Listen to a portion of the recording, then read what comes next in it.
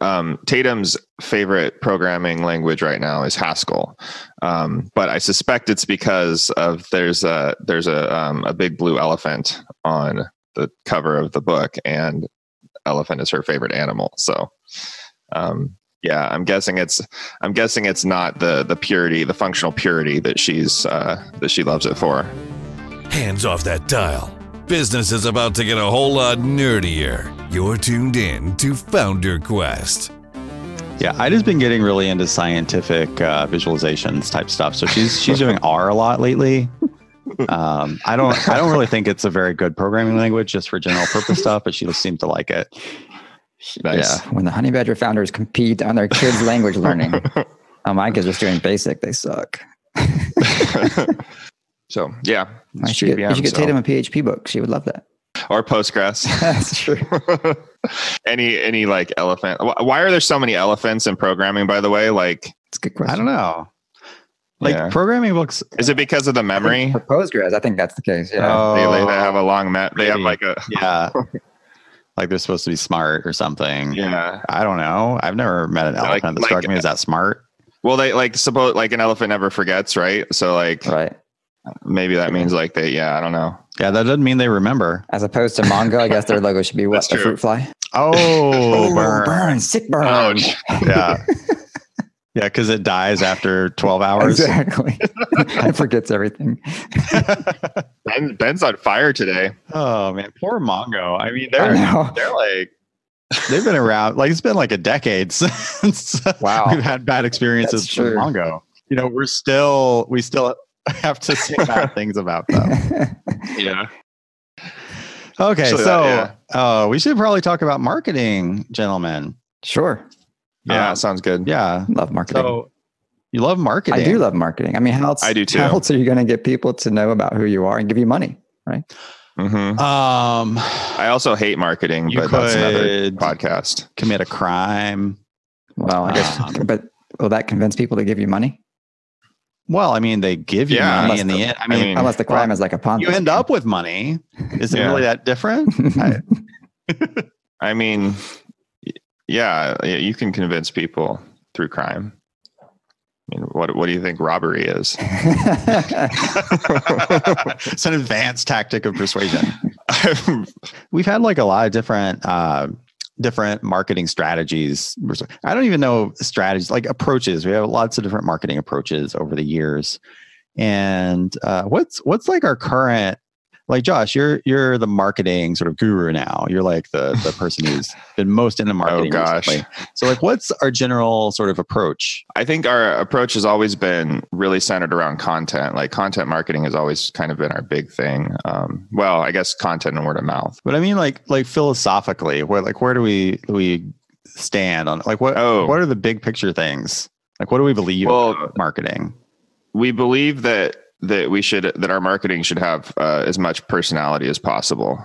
Um, and we should try to be ourselves in our marketing as much as possible. So yeah i think that's i don't know that's the big thing for me um, we do different tactics um, but we're all about i mean we're honeybadger we can't like we can't be all like business professional So we're like taking our our weakness, which is our unprofessionalism, and we're turning that into a feature. Exactly. And I, I kind of look at it like almost a competitive advantage uh, because, you know, we've got these, we've got these larger competitors with like marketing teams and, and, you know, bosses and things and and they can't get away with the things that we can just as you know scrappy little honeybadger or whatever i totally think we can use that to our advantage Yeah, we can be like the punk rock error tracker. fighting the man I know. I hate the man. So I mean, we do content. You know, we've always done content and stuff, but we've also done like a lot of other things, right? We do the conferences. We've done a lot of like uh, cool like giveaways and shirts and stuff. We do a lot of stuff on. You know, we do social media stuff. Let's talk about conferences. Like when I remember, like what was the first conference we went to? Was it that RailsConf? Ben and I was was it just uh, I forget when, but we were just talking about when I actually met you, Star, What? because Oh, because we started if you recall we started a company together before we had actually met in person like we That's were right. legally we were like legally contract contractually in business together and we had never met each other um, so i think i remembered though that's why i'm bringing this up is i think it was um, what was the um the Heroku conference in San Francisco? Waza. Ben? Yeah. Wa- was Waza. Waza. Waza was I think that was when I first met both of you guys together. Yeah, I think that's I'm right. pretty sure. Yeah. Wow. I Yeah. totally forgot about that one too. I totally I did forgot about too. that too. Yeah. Oh, So that that was the that was the first. I remember now. That was the first meal that Honeybadger paid for. yeah, it was surreal because I like we'd I'd met Ben before um, in person once, and when he came down to Portland, but uh, I just remember like flying into San Francisco, and we're going to this like it was actually like I hadn't been to that many conferences at that point, to be honest, either. So I mean, neither. and it was one of my first probably first like big conferences I went to, and I'm like meeting my business partners for the first time. Yeah, that I met on the internet. And uh, yeah, and we're like, we got our, we have our company credit cards finally, and Oh yeah, we can like, was we so can like buy ourselves meals. Yeah, that was awesome. Yeah, and we stayed. Did we all stay in that weird uh, anime Japanese Uh huh. Yep. hotel? Yep. Yep. Right there Yeah. in Japantown. It was awesome. To answer your, that's a long way to answer your question. Is I think that was the first conference that we all went to. And you know what, Yeah. man? Uh, the that conference still sticks out in my mind as like the most fun conference I've ever been to. Well, from I mean, like from this, what we're talking about right now, um, from like the the whole personality and marketing thing, like Waza was like.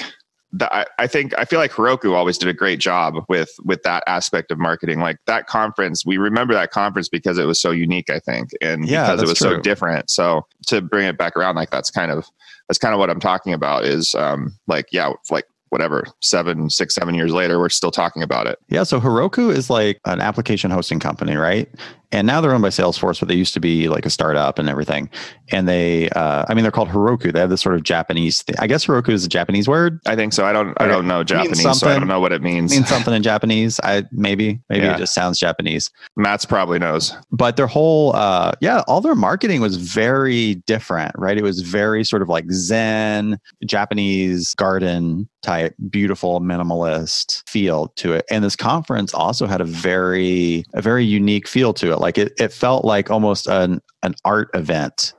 As yeah, much it was all about like like crafting, like crafting things. I as if I remember correctly. So yeah like they had these these people come out and do this weird I, it was like some sort of dance where they were like ceremonially like sweeping the floor of the like the stage where the presenters were going to be it wasn't like a normal conference venue where you're just sort of in you know there's there's a hallway there's a bunch of rooms it's kind of like a, a hotel or whatever it was this this beautiful open space like the whole conference was in this giant open room and there were these little stations where you could go and like do uh like you could make robots and things yeah it was just super unique and i was i was sad that they stopped doing that because i really wanted to go back the following year but it was it was over yeah, Yeah, it was just two years. Yeah, we went that 2013. Yeah, I think you know our earliest marketing efforts, like going to that conference, was having Honeybadger logo on our shirts, right, and just Oh, walking yeah. around, and people be like, "Oh, what's Honeybadger?" Right, and uh, I, I picked that trick up from uh, my Rails Kits days when I would wear Mhm. the Rails Kit shirt to RailsConf, and people were like, "Oh yeah, Rails Kits." And I oh i didn't know that Oh yeah, yeah. nice. works. Yeah, and we also no, I, have- I actually I remember th- I remember you like telling us that story when we actually wore the shirts. Oh yeah. Well, I wasn't listening.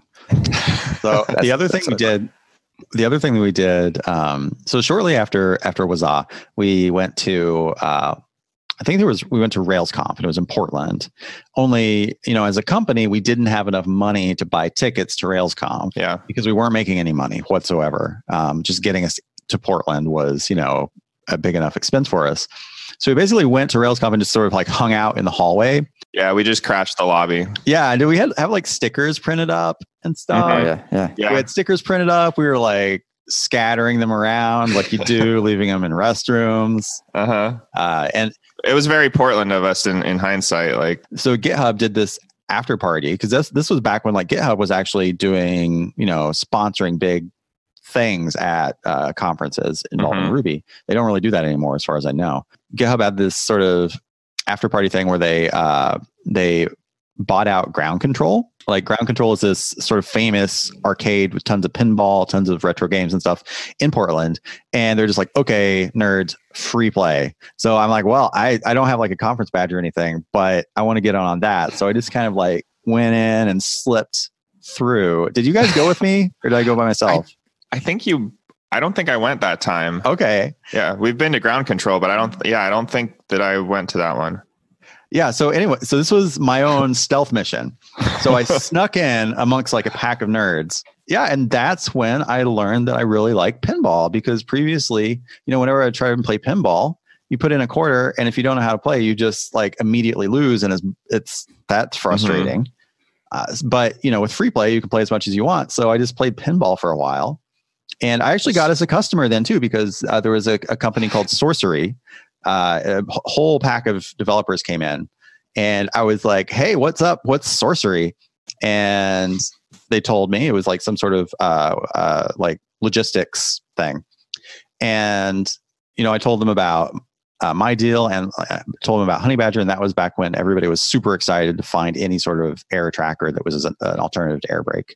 Mm-hmm. So, yeah. And then later on, they signed up. So Nice. I don't yeah. know if I, I don't, I don't think I knew this story. Yeah. You didn't. Yeah. yeah that's awesome. to me. Well, I think that may be, uh, that's definitely my first direct uh, getting people to sign up event. Yeah.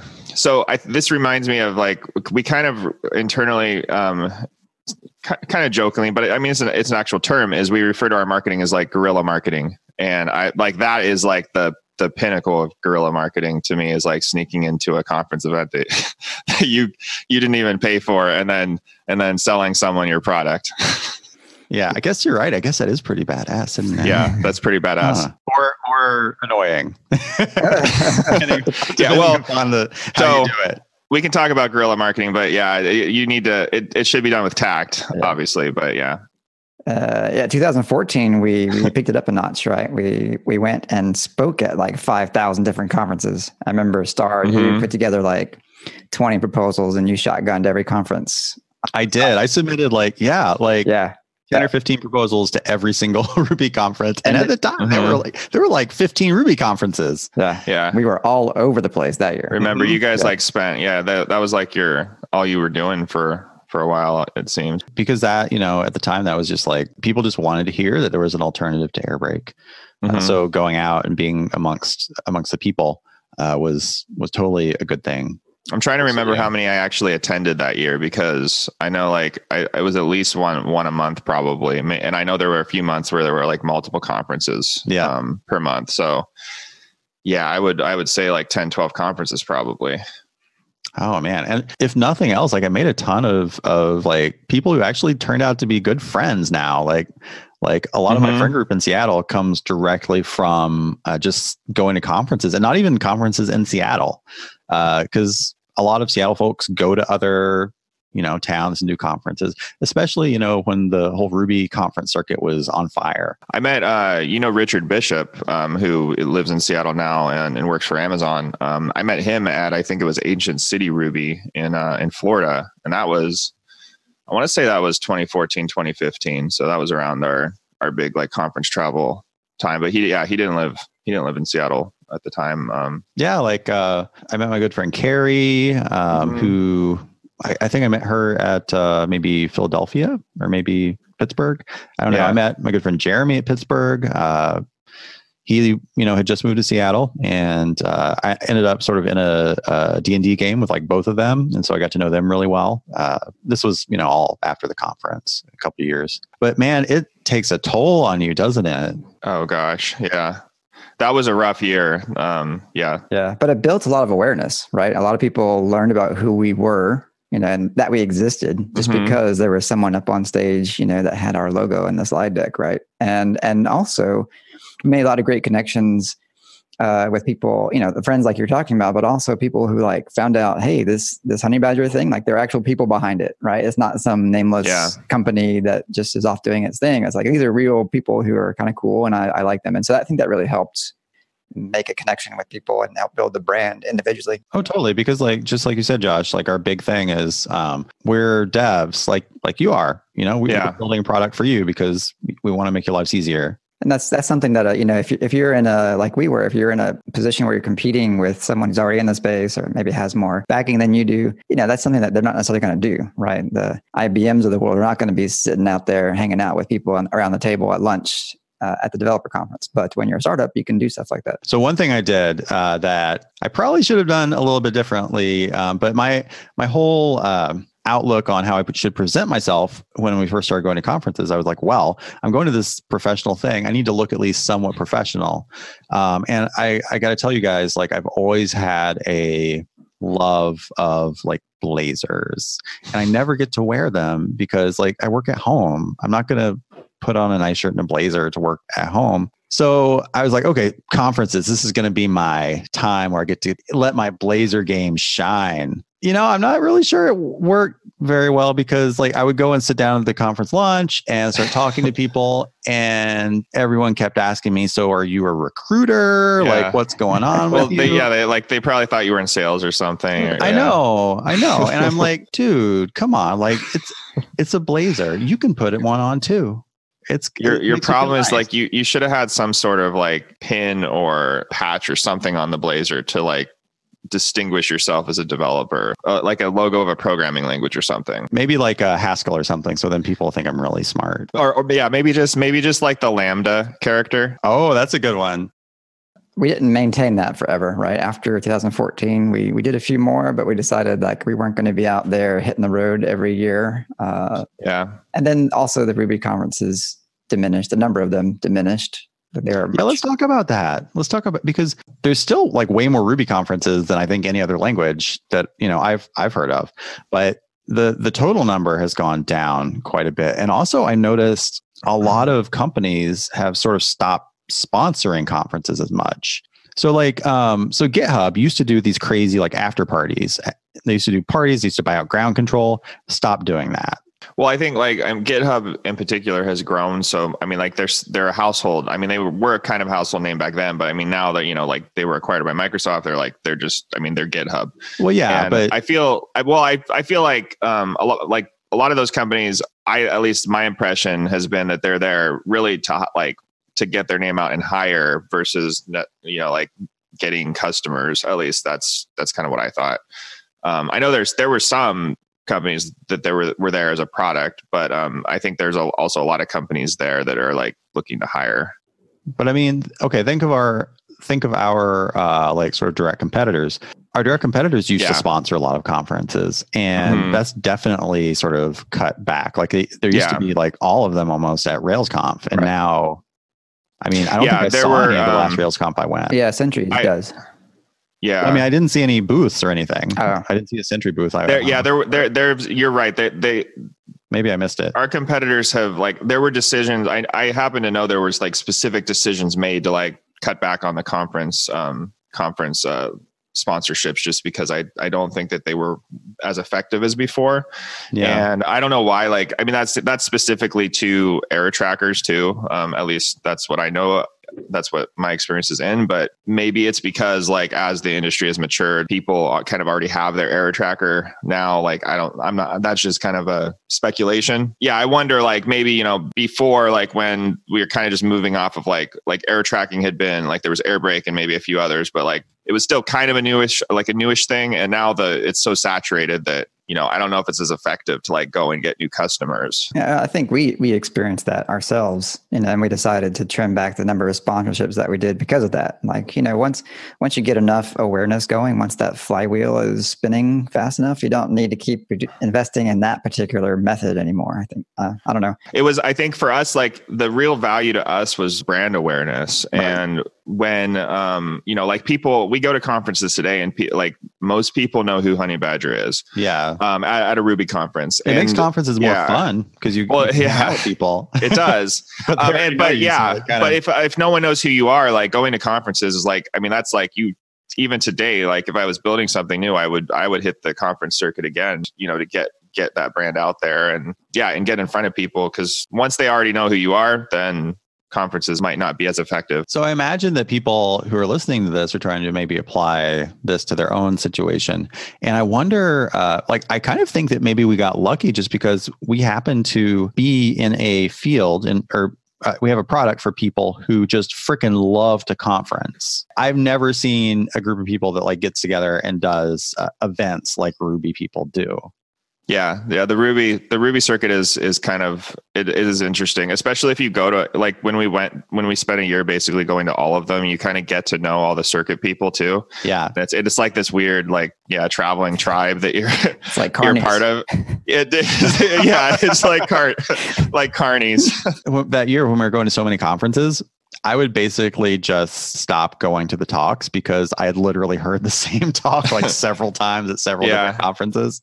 Well, we gave we, we gave the same talk at several different conferences. Well, yeah, but I mean, I, am not blaming them. It yeah, takes a yeah. lot of time to make a talk. Yeah, So that so here's a pro tip for future conference uh, speakers. If you're trying to uh, if you're trying to uh, raise your profile, speak at more conferences, don't do what I did and make 15 different uh, proposals. Because let me tell you, when you make 15 different proposals, that means that if you get accepted by five conferences, great, you've got five speaking engagements, whatever. But you've got to make five completely separate slide decks, and that takes a ton of time Yeah, that sounds like so much work. like it would take me a couple of weeks of more or less full time work to put together a presentation for someplace like RailsConf. That's not even like a perfect presentation. like that's just sort of what I I thought was like an acceptable presentation. It worked. Like Yeah, that's true. That's also me. I, I tend to over prepare for things. So Well, it seems like I mean, it seems like a good strategy though would be like since it does take you put so much work into a talk. Um, if like if you're gonna put if you're gonna put together five talks, why not just like spend that time or even half that time putting together one really really good talk yeah, and then giving it at a bunch of places around the country because there's it's not the same people going to those conferences um, except for the you know the people the circuit people so totally. everyone can benefit by it The only gotcha is that it's really kind of hard to tell which talks are going to take off. Like a lot of times, the proposals that got accepted of mine were not the ones that I expected to get accepted. Sometimes they were just ones that I was just like, well, I'm just going to throw this out here because I kind of know about it. yeah I think it's it's really a numbers game, and I think you know the reason why you had so many opportunities to speak was because you did ten or fifteen, right? And so Yeah. there was plenty of selection, and yeah, just a lot of numbers worked in your favor. I guess there's no perfect uh, approach. No, it's all an experiment. So um, our our conference uh, our conference strategy now we we do some conferences, but it's it's changed a little bit, and I thought maybe we could talk about that just um, because we're we're not really going to conferences for the same reason these days. But I think it's a chance. I mean, it's a chance to go and talk to new people and meet new people for sure. But it's also a chance to kind of reconnect with the people that we've met and reconnect, especially with our customers. It's it's really cool. I love going to conferences and, and meeting our customers. Some of them who have been customers for years. Oh, totally. Are we going Yeah. to talk about food? So I think we should talk about food because This is well, this is our main this is our main marketing secret. I'm going to just out us right now. So it's not Food. For me. It's not necessarily food. Um, it's it's more of like experiences. But I mean, food is like my favorite experience. So it usually it usually is a food event that uh, that we'll plan. Um, and I, I know Ben Ben kind of like was one did one of these the first of these, um, which is really kind of like like creating like a unique event for people at the conference to go to because a lot of people are looking for something to do and they might not know people and it's nice to like have something interesting and unique to go to that doesn't feel like it's going to be um, some sort of cocktail hour or something where you're just like standing around and not really knowing who to talk to and that sort of thing. So what we've done is, uh, I think Ben, you uh, what, was it in Kansas City that we did? Um, we did a it was a, a, a barbecue tour. yeah, that was that was fun. so how did that work? we when we were going to kansas city there was uh, a number of activities happening and we signed up to sponsor one of them basically and the one that we sponsored was the uh, barbecue tour bus which was just awesome like i had no idea but you know people living in kansas city know that uh, barbecue is a thing there so we uh, signed up to sponsor this tour bus which loads up i don't remember how many people was 30 or 40 people load them up onto a bus and take them on a tour of Kansas City, some of the historical districts, and stop at a couple different barbecue places to have a couple of uh, light meals. And it was just a ton of fun. Like I, I just put out a thing ahead of time saying, "Hey, the first thirty people who sign up get to come and, and hang out on the bus and, and have some barbecue with us." And uh, we got there. Uh, I think it was like the night, the first night uh, before the conference actually started, you know, everyone who showed up and was on the list piled into the bus. We drove around and had some food and, and, and chatted. And Josh, like you said, like I had a couple people there who were like, yeah, we've been customers for a long time. And it was pretty, Yeah. pretty fun to meet- them. And Uh-huh. of course, there were some people who didn't know who we were and they're just like, hey, free food. I'm down for that, you know? Yeah. uh, and it was it was great. So getting to meet a lot of people, and not like you said, not having this cocktail hour thing where you're having to yell at people to to hear them, but you're just sitting down and talking with two or three people on the bus and Yeah. across from someone at dinner. It was a lot of fun. Well, and I think the the key for me, I think, is that you're you're sharing an experience too. Like this is something like like everyone goes to like whatever the conference after party, but not everyone can get on the bus, and not everyone can go on this tour that is a shared experience of like you're you know you're going somewhere, um, and it. There, there's been other instances where where conferences like it's rare that they do they're they're this good, but um, I think it was that again Ancient City Ruby. Um, one of like their events were all like um, like they didn't do as many like so many parties. Like they did more um, like they had a number of tours and things that that people could get together like sign up for basically and then go do them. So we did like the um, ripley's believe it or not. There's a ghost tour in ancient city um, because it's like the oldest city in america. Um, so yeah that was the one i went to creating a shared experience with other conference goers where it's not just all about networking even though networking happens but it's it's about doing something else. I think that kind of takes a lot of the social pressure off of the situation. Since then um, since the barbecue bus i think we've kind of doubled down on that on that idea. It's not even like if a conference is not offering that kind of event like that doesn't mean you can't just go and do it yourself which is what we did in phoenix. Um, so i did uh, i did another bus and we went we took a group to uh, to in and out burger because in and out burger happens to have a location in phoenix and it's like not within walking distance of the conference. So this was for RailsConf, right? yeah so that was railsconf i think in phoenix. We were not sponsors of RailsConf, we were not sponsors of railsconf no because railsconf is crazy expensive. But uh, yeah, it's like 15 to 30 grand or something. yeah But even though you don't sponsor a conference, like there's nothing saying that you can't uh, say charter a bus and park it outside the convention center and then tweet at people to say, hey, if you want some, exactly if you want to go Like- to In and Out, uh, yeah, just get on board that little bus there. uh-huh Um, don't worry about who's taking you. this is the this is this is guerrilla marketing. I mean, like, yeah, you can you can do you can do whatever you want. Like, you're not uh, like I said, you have to have tact. Like, you're not gonna like, yeah, I'm not like parking the bus outside of the main event. You're not rushing the stage during the keynote and be like, hey, Yeah. Yeah. But I mean, like you're taking you're taking a group of 50 friends out for dinner, right? like, what's wrong with what's wrong with that, right? Yeah, I don't think like I like you s- it sounds like you're a little bit defensive about it almost, but I don't think there's anything wrong with it. Like if I was a conference organizer, I would love it if people were just creating these more rich experiences happening after the conference. Like that, Yeah. that would be awesome because to I mean, conference organizers can't uh, ensure that everybody has a great time all the time after Mhm. the conference. Yeah, and it, and like it makes the conference better. It totally does. And uh, like this was this was a couple years ago at this point. We I still like people I meet that you know or people that I catch up with that were on the bus. Like they still bring it up when when I meet them at conferences now. So it's like something people are still talking about. Um, uh, Mike Perham uh, has like for years done a uh, a game night at every Ruby. I think Ruby and RailsConf. That's another great example. Um, it's it's marketing for for his project Sidekiq. I'm sorry, I just had I just had a genius idea. Um, if we ever do a bus again, Uh huh. Which we I, we we are. So I need I need your ideas. okay, you have some T-shirts printed up that say "Were you on the bus?"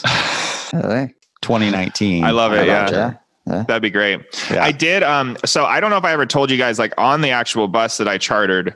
I actually had like I went. I actually paid for everyone's dinner, which by the way is like seven fifty a person. So we we spent like two or three hundred bucks on dinner for like a bus of people, which is just. I mean, you it doesn't get cheaper than that for a conference sponsorship. How much did the bus Um, cost too? Like, what was the bus was the bus was like two or three hundred bucks i think uh, maybe it was four but like we were we were well under like probably seven hundred dollars for the whole Oh thing Oh my goodness! um so it makes a lot of sense in in a lot of different ways. Um but yeah like i uh, i had brought shirts. So i put a shirt like a nicely folded shirt on each seat. Um i had a little envelope because i didn't like in and out is just kind of like you know walk up to the line and, and order. So um, i didn't know how to pay for everyone. So i just went to a bank and um, and got a bunch of $10 bills. Like Ah. took out took out a bunch of $10 bills put you know got i bought some envelopes at like a like a cvs or something That's and i put so i put a sticker and a $10 bill in each envelope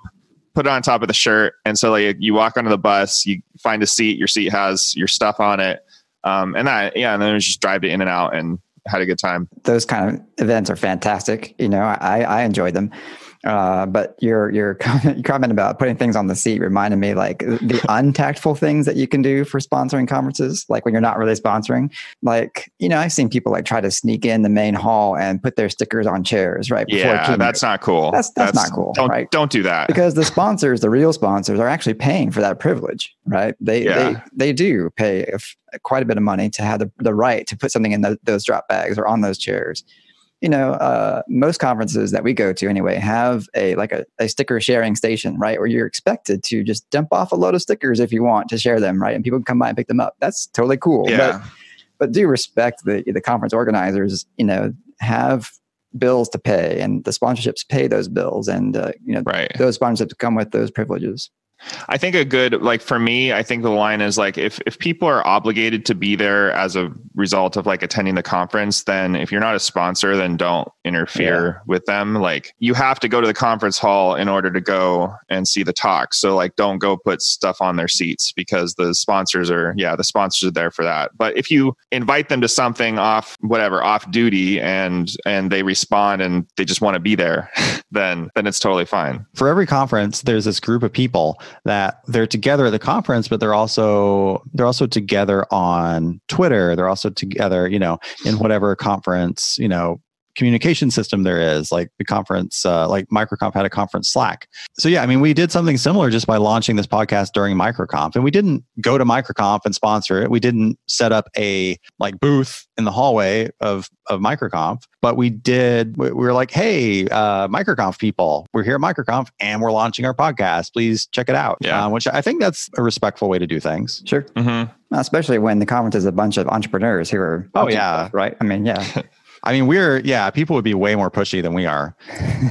That's the problem with being a developer is that your conscience prevents you from like doing the really aggressive marketing stuff. Well, there is um we've talked about the honey badger suit and we we have our uh, our marketing uh, director Ben Finley has has graciously volunteered to wear a honey a honey Wait, badger is there suit. a honey badger suit? Do we have one? It, it doesn't exist yet. Okay. Um but yeah I, I doubt it actually exists in the world because honey badgers are, are really ugly so I don't know who would want to wear one besides us.